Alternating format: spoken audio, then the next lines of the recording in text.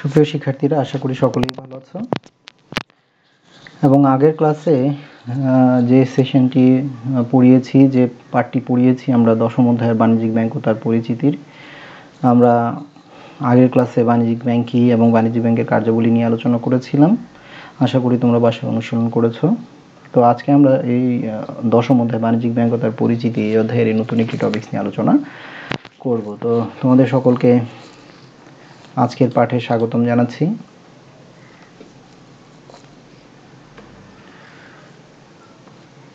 তো আজকে আমরা নবম, দশম শ্রেণি ফিনান্সিয়াল ব্যাংকিং বিষয়ে বাণিজ্যিক ব্যাংক ও তার পরিচিতি। তো বাণিজ্যিক ব্যাংকের কার্যগুলি আলোচনা করেছিলাম। আজকে উদ্দেশ্য আলোচনা করব আমরা।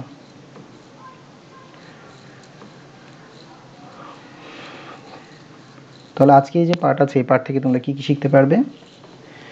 বাণিজ্যিক ব্যাংক কি তা বলতে পারবে? বাণিজ্যিক ব্যাংকের উদ্দেশ্যগুলো চিহ্নিত করতে পারবে। বাণিজ্যিক ব্যাংক ধনী ও দরিদ্রের বৈষম্য হ্রাস করে জীবনযাত্রার মান উন্নয়ন করে। উক্তিটি তোমরা ব্যাখ্যা করতে পারবে। তাহলে চিত্রগুলো কিসের প্রতীক? আসলে এখানে তোমরা যখন স্কুলে যাও, তখন দেখেছ তোমাদের এলাকাতে বিভিন্ন সময় বিভিন্ন ধরনের ব্যাংকের বিলবোর্ড তোমরা দেখেছ। তো এখানে যে ব্যাংকগুলো রয়েছে, আসলে সবগুলো কি বাণিজ্যিক ব্যাংক, যেমন জনতা ব্যাংক আছে, বেসিক ব্যাংক আছে দ্য ফার্মার্স ব্যাংক আছে, বাংলাদেশ কৃষি ব্যাংক আছে রাজশাহী কৃষি উন্নয়ন ব্যাংক আছে, Rupali bank limited DCB Bangladesh commercial bank limited বা বিসিবি সোনালী ব্যাংক আছে। তাহলে কোনটি কি ব্যাংক আসলে? তো এগুলো সবগুলোই হচ্ছে বাণিজ্যিক ব্যাংক, আর এটি রয়েছে বিশেষায়িত ব্যাংক, বাংলাদেশ কৃষি ব্যাংক। এটা একটি বিশেষায়িত ব্যাংক। বিশেষ করে কৃষিকে এগিয়ে নিয়ে যাওয়ার জন্য কৃষকদেরকে স্বল্প সুদে অথবা বিনা শর্তে ঋণ প্রদান করে কৃষিকে মান উন্নয়নে কী করে থাকে তারা অগ্রণী ভূমিকা পালন করে থাকে। আর অন্যান্যগুলো কি রয়েছে? বাণিজ্যিক ব্যাংক রয়েছে। তাহলে বাণিজ্যিক ব্যাংক কি বা তার উদ্দেশ্যগুলো কি আসলে? তাহলে এর আগের ক্লাসে আমি বলেছিলাম যে বাণিজ্যিক ব্যাংক কি? যে মুনাফা অর্জনের উদ্দেশ্যে যে প্রতিষ্ঠান অর্থ অর্থের মূল্যে পরিমাপযোগ্য বা সেবা লেনদেন করে থাকে থাকে তাকে এই প্রতিষ্ঠানকে কি বলা হয়ে থাকে? বাণিজ্যিক ব্যাংক বলা হয়ে থাকে তাহলে বাণিজ্য ব্যাংকের মূল উদ্দেশ্য কি? মুনাফা অর্জন। বাণিজ্য ব্যাংকের মূল উদ্দেশ্য মুনাফা অর্জন। তাহলে বলেছিলাম আগের ক্লাসে যে সোনালী ব্যাংক হচ্ছে বাংলাদেশের সবচেয়ে বড় বাণিজ্যিক ব্যাংক। তারা কি করে থাকে? মুনাফা অর্জন করা। তাহলে এই যে বাণিজ্যিক ব্যাংক, সবচেয়ে বড় বাণিজ্যিক ব্যাংক, এছাড়াও আরও অনেক বাণিজ্যিক ব্যাংক রয়েছে, তাদের মূল উদ্দেশ্য কি? তাদের মূল উদ্দেশ্য হচ্ছে আমানত গ্রহণ এবং ঋণ দানের মাধ্যমে মুনাফা মুনাফা অর্জন করা। তাহলে এই যে ব্যবসায়িক লেনদেন, অর্থ স্থানান্তর, দেখতে পাচ্ছ, তাহলে ব্যবসায়ী লেনদেনের মাধ্যমে অর্থ কী হয়? আদান প্রদান হয়। এখানে তোমরা দেখতে পাচ্ছ যে অর্থ কী করা হচ্ছে? আদান প্রদান করা হচ্ছে। তাহলে মূলধন গঠনের জন্য জনগণের অতিরিক্ত অর্থ সঞ্চয় হিসেবে গ্রহণ করে। তাহলে এই যে জনগণের কাছে সঞ্চিত যে অর্থ, সেই অর্থ তারা তারা কি করে? সঞ্চয় হিসেবে গ্রহণ করে। বিনিয়োগের জন্য পুঁজি বা মূলধন গঠন ব্যাংকের একটি বিশেষ উদ্দেশ্য।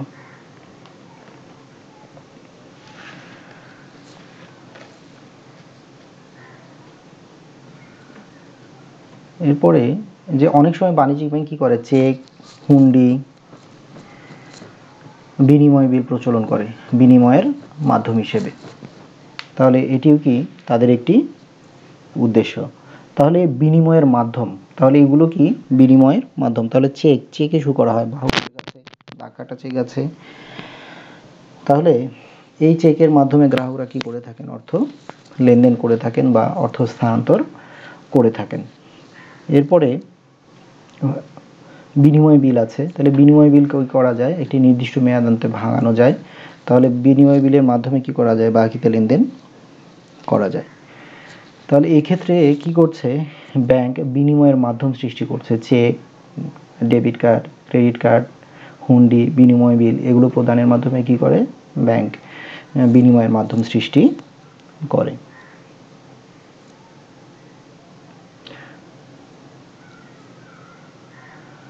তাহলে এখানে কি দেখা যাচ্ছে? যে সঞ্চয় প্রবণতা সঞ্চয় প্রবণতা সৃষ্টি। সঞ্চয় প্রবণতা সৃষ্টি। তো এখানে একটা মৌমাছির ছবি দেওয়া আছে মৌমাছি কী করে? মধু আহরণ করে এবং তা মৌচাকে সঞ্চয় করে। তাহলে আমরা কি করি? সাধারণত আমাদের যে অলস পড়ে থাকা অর্থ, যা খরচ হচ্ছে না, সেটা কি করি আমরা? বা আমরা সঠিকভাবে পরিকল্পনা করার মাধ্যমে ব্যয় সংকোচন নীতি অনুসরণ করে সঠিকভাবে অর্থ ব্যয় করে বাকি অতিরিক্ত অর্থগুলো কি করি? সঞ্চয়ে চেষ্টা করি।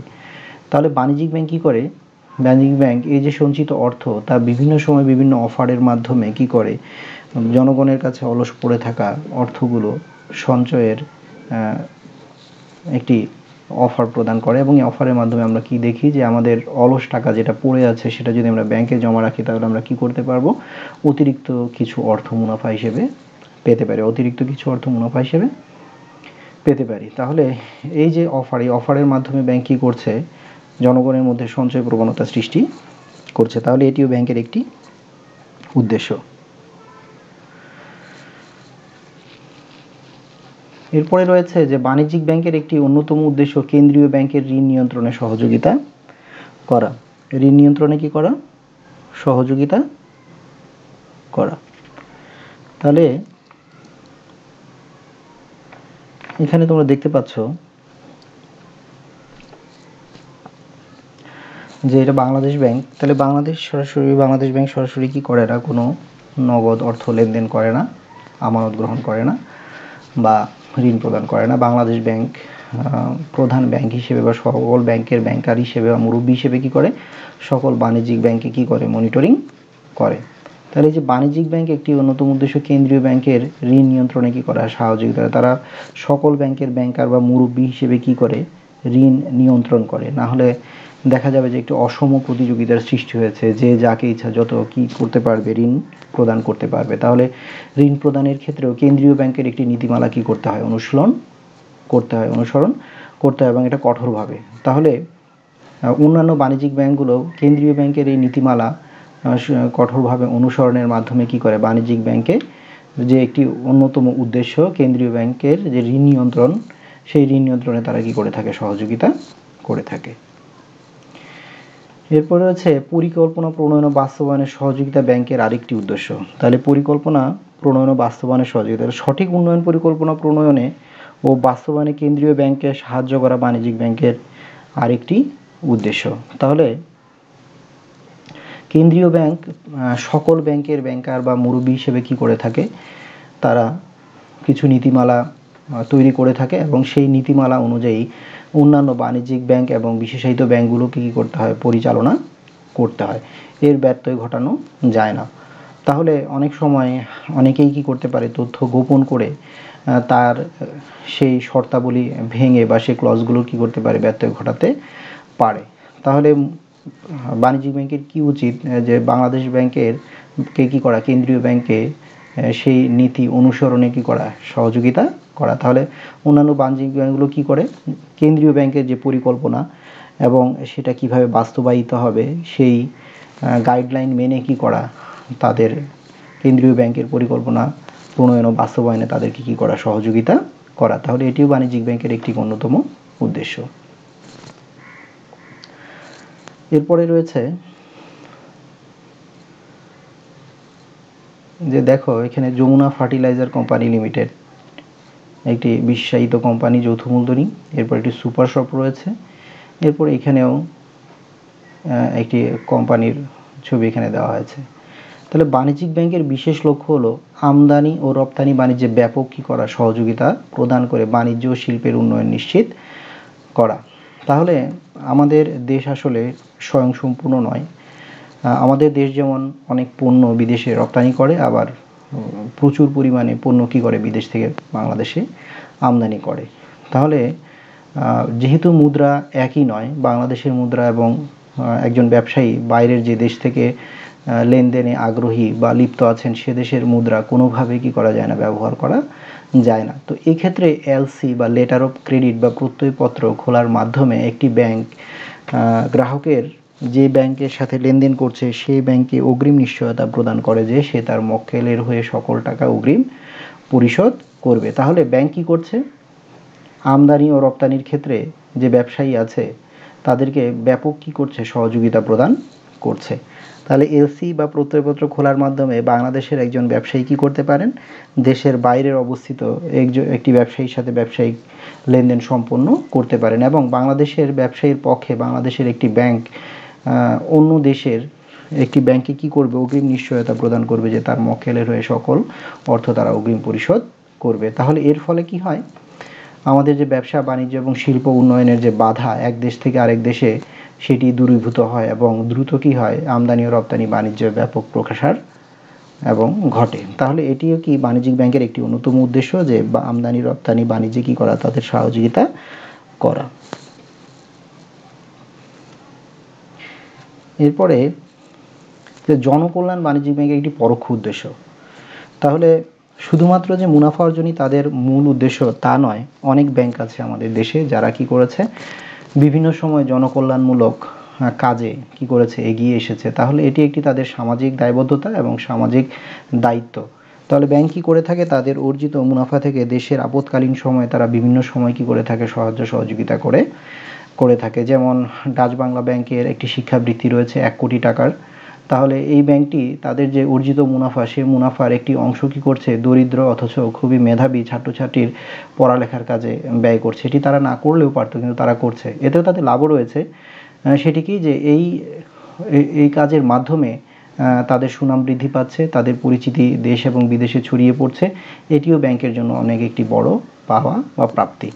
তাহলে সকাল খাতকে উন্নত করে, সমানভাবে উন্নত করে সামগ্রিকভাবে সম্পদের সুষম বন্টন নিশ্চিত করা বাণিজ্যিক ব্যাংকের একটি উদ্দেশ্য। তাহলে আমাদের দেশে প্রচুর পরিমাণে কলকারখানা রয়েছে। এখন শুধুমাত্র যদি একই ধরনের পণ্য উৎপাদন করা হতো, তাহলে কি হতো? একটি ভারসাম্য থাকতো না, একটা ইমব্যালেন্স তৈরি হতো।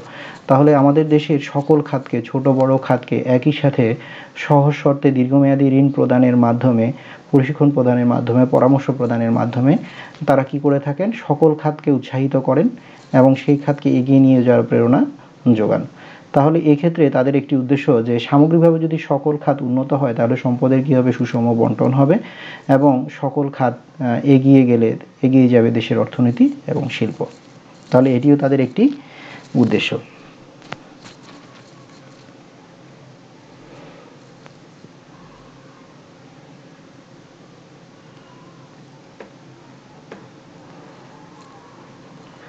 যেমন এখানে শিক্ষাবৃত্তি রয়েছে, ঋণ রয়েছে। এরপরে দেখো এটি যে দরিদ্রদের জন্য ত্রাণ বিতরণ, সেই কার্যক্রম রয়েছে। এরপরে যে কৃষি, অর্থাৎ কৃষকদেরকে সহজ শর্তে বা বিনা সুদে দীর্ঘমেয়াদী ঋণ প্রদান করা, যাতে কৃষকগণ কী করতে পারেন? আধুনিক যন্ত্রপাতি এবং কৃষি বীজ বা সার ক্রয়ের মাধ্যমে তাদের যে সমস্যা আছে, সেই সমস্যা কাটিয়ে উঠতে পারেন। তাতেও কি হবে? কৃষির উন্নয়ন ঘটবে। এরপরে কি রয়েছে যে, আমাদের দেশের যে মহিলারা আছেন, তাদের উদ্যোক্তা হিসেবে গড়ে তোলার জন্য তাদেরকে প্রশিক্ষণ প্রদান এবং ঋণ প্রদান সহজ শর্তে ঋণ বা অনুদান প্রদান, এর মাধ্যমে কি করে থাকে? জনকল্যাণে বাণিজ্যিক ব্যাংকগুলো অংশগ্রহণ করে থাকে।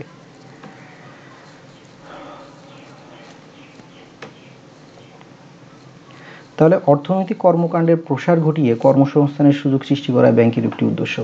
শুধুমাত্র যে ব্যাংকের নতুন নতুন শাখা খোলার মাধ্যমে কর্মসংস্থান সৃষ্টি তা নয়, নতুন নতুন যারা এন্টারপ্রেনিয়র আছেন এন্টারপ্রেনিয়র আছেন বা উদ্যোক্তা আছেন, তাদেরকে ঋণ প্রদানের মাধ্যমে ছোট ছোট উদ্যোগগুলোকে সামনে এগিয়ে নিয়ে যাওয়ার মাধ্যমে তারা কি করতে পারেন? কর্মসংস্থান সুযোগ সৃষ্টি করতে পারেন।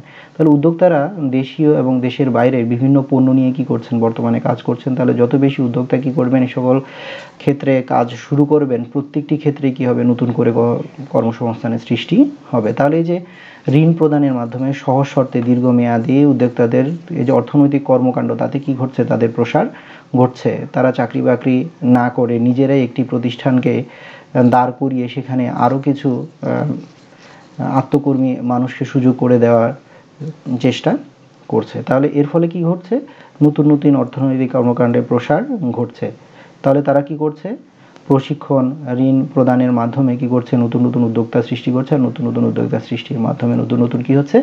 কর্মসংস্থান সৃষ্টি হচ্ছে। তাহলে কর্মসংস্থান সৃষ্টি করা বাণিজ্যিক ব্যাংকের কি একটি অন্যতম উদ্দেশ্য? তাহলে কর্মসংস্থানের ফলে সামগ্রিকভাবে অর্থনৈতিক উন্নয়নের সাথে সাথে জীবনযাত্রার কী হবে? মান উন্নয়ন করাও বাণিজ্যিক ব্যাংকের একটি উদ্দেশ্য তাহলে যে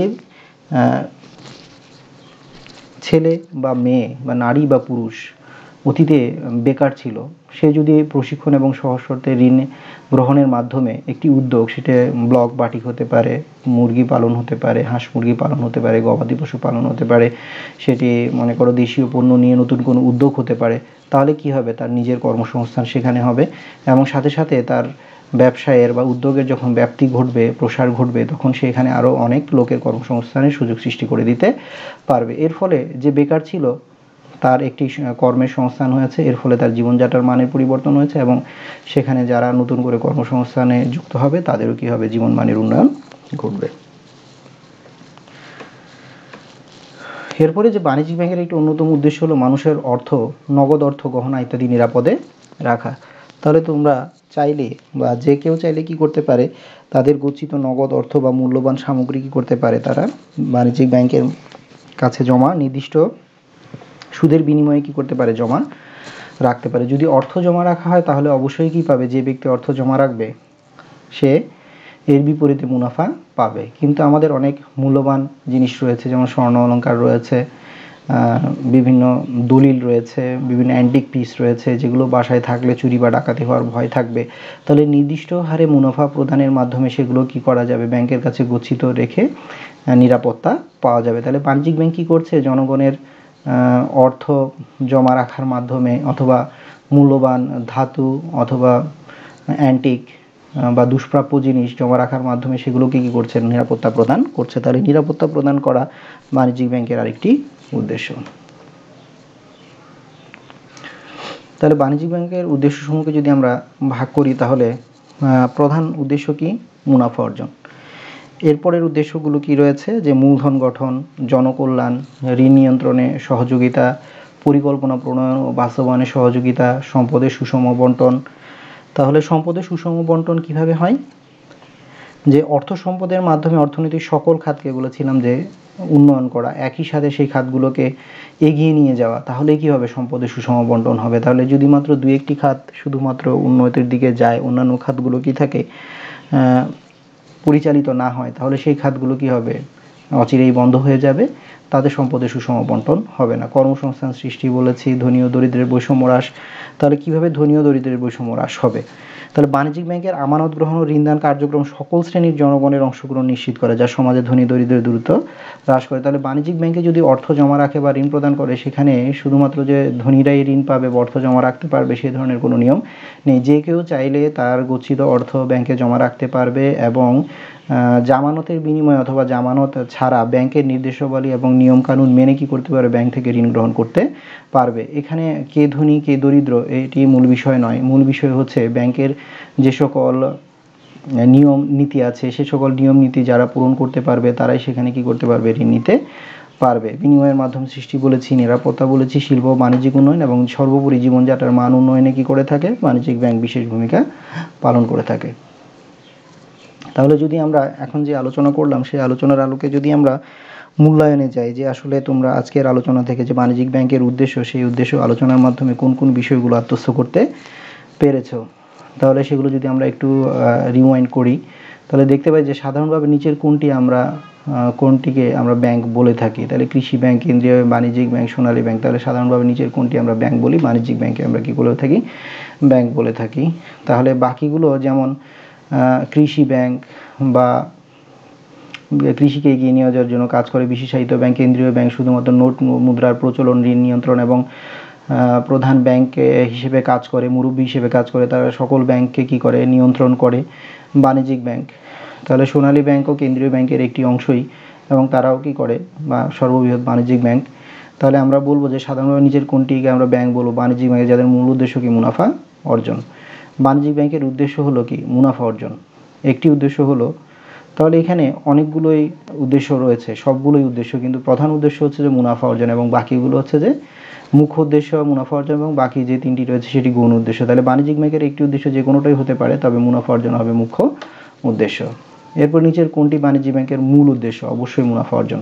তাহলে এই প্রশ্নের আলোকে যদি এখানে বলা হয় যে বাণিজ্যিক ব্যাংকের একটি উদ্দেশ্য হলো যে কোনোটি হতে পারে তাহলে নিচের কোনটি? বাণিজ্যিক ব্যাংকের মূল উদ্দেশ্য। মূল উদ্দেশ্য হচ্ছে মুনাফা অর্জন।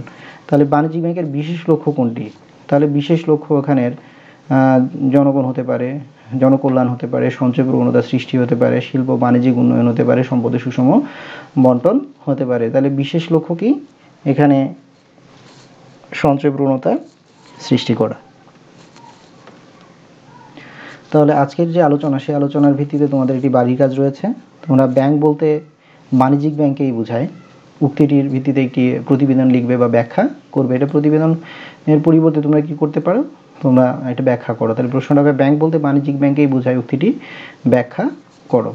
তাহলে আশা করি তোমরা আজকের আলোচনা বুঝতে পেরেছ এবং এই আলোচনার আলোকে যে বাড়ি কাজ দেওয়া হয়েছে, তোমরা বাসায় সেটা সম্পূর্ণ করবে। প্রয়োজন হলে পাঠ্য বইয়ের সাহায্য নিবে। যদি কোনো কিছু বুঝতে অসুবিধা হয়, তাহলে অবশ্যই কমেন্ট সেকশনে কমেন্ট করে জানাবে। তাহলে আজকের ক্লাসে অংশগ্রহণের জন্য সবাইকে আমি আন্তরিক ধন্যবাদ জানাচ্ছি। পরবর্তী ক্লাস দেখার আমন্ত্রণ রইল। দেখা হবে পরবর্তী ক্লাসে এই অধ্যায়ের নতুন কোনো টপিকস নিয়ে। ততদিন ভালো থাকবে, সুস্থ থাকবে। সকলকে ধন্যবাদ।